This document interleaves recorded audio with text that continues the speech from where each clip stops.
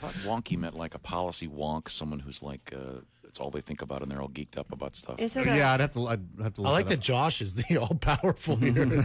Josh, am I right here? A bit of a word nerd. Urban but, yeah. Bit of an etymologist. Uh, Josh can read, which is Urban Dictionary? Oh yes, Urban Dictionary. Oh, this is even Wait a better. minute. What's Wait this minute. say? Okay. He said A wonky? Josh can read, Yeah, I heard him. implying none of us. Uh-huh. so there's The I urban. can't. He's right. three Oh, sorry. Well, Chick, you have the opportunity to read and the skill level. You just choose not to.